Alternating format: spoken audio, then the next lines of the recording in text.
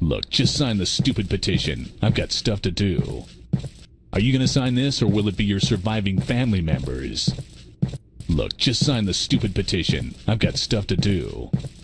Sign this petition, or I'll follow you home and kill your dog. Would you please sign my petition? Sign this petition, or I'll follow you home and kill your dog.